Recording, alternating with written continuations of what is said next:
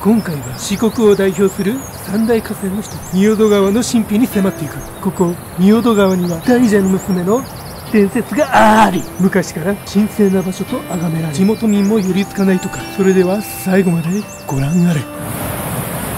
猫口まで来ました。うわ怖っここ。怖いな。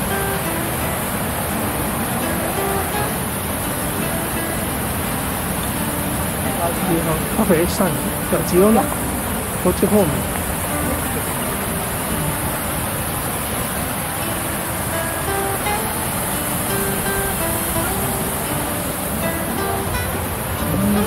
んな急なお分かりいただけるだろうか。大きな口を開けた大蛇に飲み込まれていくか。のように急な斜面を躊躇なく下っていくあー危ないうわ見えてきた見えてきたすげえなほら帰りはしんどそう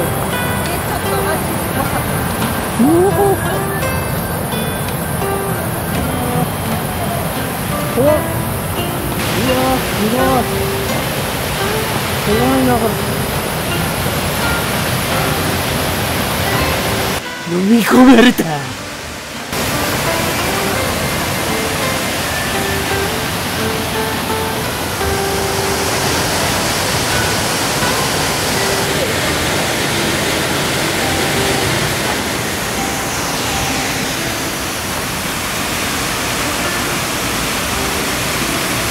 いかがだったでしょうか？